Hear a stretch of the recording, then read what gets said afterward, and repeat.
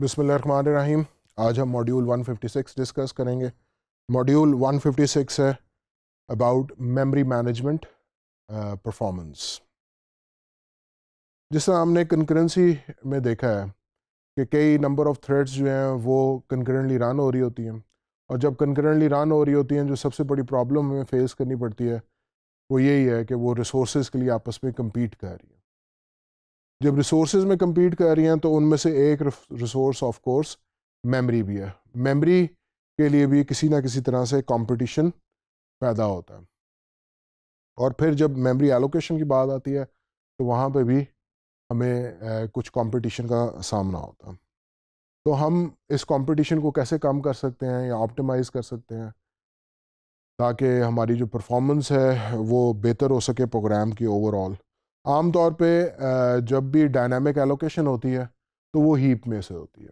जो आपके पास library functions available हैं, जिस तरह से मैलक और फ्री के फ़ंक्शंस हैं मैलक और फ्री की मदद से मैलक से आप मेमोरी एलोकेट करते हैं फ्री से आप मेमोरी डी एलोकेट करते हैं। तो इन फ़ंक्शन की मदद से आप मेमोरी एलोकेशन और डी एलोकेशन कर रहे हैं। और कहाँ से कर रहे हैं? हीप से कर रहे हैं। तो हीप एक मेमोरी एरिया है। कई अगर threads at a time run हो रही हैं, और सारों को डायनामिक मेमोरी एलोकेशन की ज़रूरत है तो सारी एट ए टाइम हीप में से मेमोरी एलोकेट कर रही होंगी तो उसकी वजह से कंटेंशन आएगी। और फिर उस कंटेंशन को आपको रिजॉल्व भी करना पड़ेगा। एक तरीका तो ये है कि आप इस कंटेंशन को किसी तरीके से रिड्यूस करें हीप को किसी तरीके से मैनेज करें। जो भी म्यूचुअल एक्सक्लूजन का सामना है हीप को एक्सेस करने में उस म्यूचुअल uh, एक्सक्लूजन को आप कंट्रोल करें।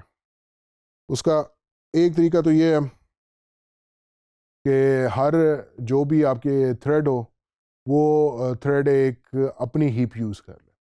उसके पास अपना एक हैंडल हो और वो हीप के जो फ़ंक्शन हैं, जैसे कि हीप क्रिएट का फ़ंक्शन है हीप अलाउक का फ़ंक्शन है हीप फ्री का फ़ंक्शन है हीप क्रिएट की मदद से वो अपनी हीप क्रिएट करे और हीप लॉक और हीप फ्री की मदद से वो मेमोरी एलोकेट करे और डी एलोकेट करे। इस तरह से हीप को एक्सेस करने में डिफरेंट थ्रेड्स के बीच में जो कंटेंशन है वो ऑल टुगेदर ख़त्म हो जाती है।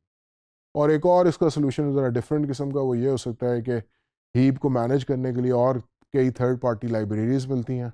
आप कोई अच्छी सी लाइब्रेरी जिसके अंदर बड़े आसान तरीके से आप हीप को मैनेज कर सकते हैं, उस लाइब्रेरी का इस्तेमाल भी कर सकते हैं।